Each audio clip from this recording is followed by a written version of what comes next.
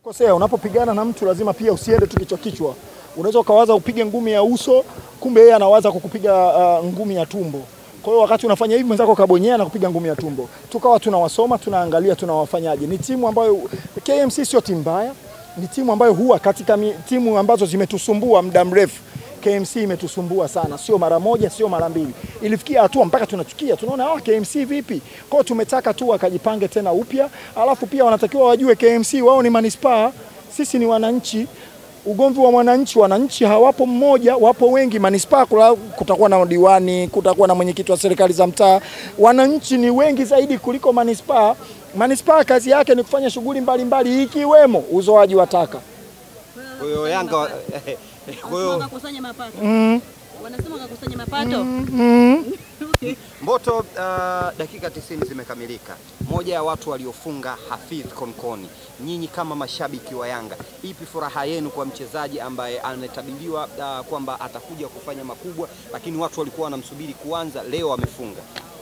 Ah, kwanza unatakiwa utambue kabisa, mimi binafsi Yanga kwanza, yaani mimi binafsi Yanga kwanza.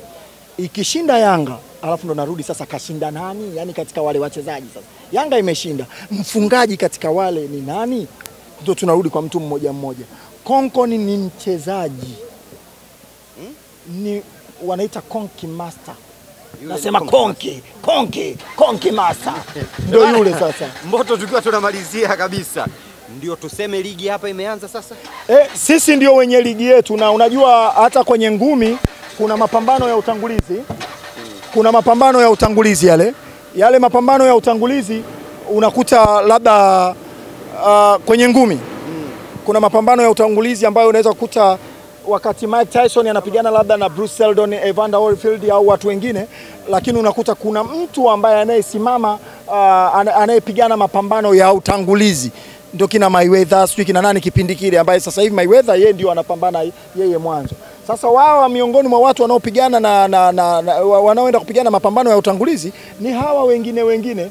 Sisi sio watu wa utangulizi, sisi ndio wenye mechi yetu, sisi we- ndio wenye pambano letu, na ndio tuliowaalika wananchi kuja kushuhudia pambano la ngumi. Kwa hiyo hawa wenzetu wanapigana mapambano ya utangulizi, sisi ndio tumekuja wenye pambano letu, ndio Mike Tyson na Bruce Seldon kwa wakati huu. Lakini watani wenu wanaongoza kwa pointi sita na goli sita, Kumbuka pia wana mechi ngapi?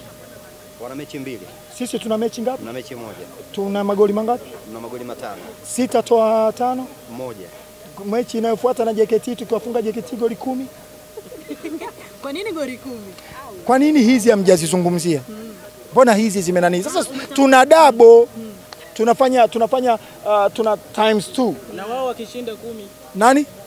Waki JKT hao. JKT yani waifunge Yanga? Kwanza ncheke.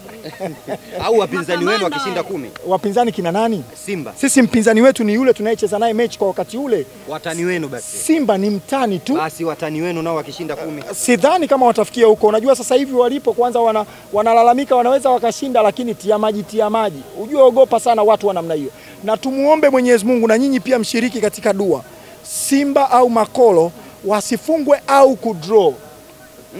Wakifungwa au kudraw, nini kitatokea? kitakachotokea ni vurugu. Unajua katika watu hawana subira ni wale mabwana hawana subira hata kidogo, wanaweza wakapigana ngumi na hawa. Sasa hivi wana mpango kwanza, ukiacha kocha wanasema tunaanzia ngazi za juu, na kama ni ngumi tuka mtama wake unaanzia kiunoni, ukiruka ndio utakukuta miguuni.